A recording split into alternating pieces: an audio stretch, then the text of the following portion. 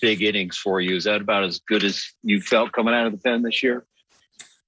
Um, I mean, I felt good every time I've I've came out uh, out of the pen so far. It's just come out and get my outs and keep the team keep, keep that keep the score one one. That was my end goal at the end. Get my outs, however long it was, and give the team a chance to strike and take the lead and win the ball game.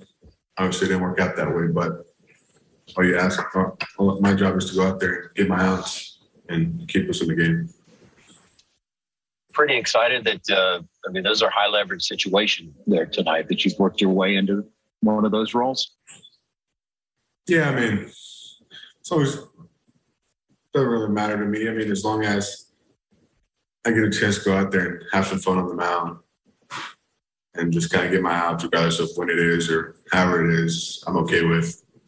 Or to, I'm just going out there, taking care of what I can, and then the rest will take care of itself at the end of the day.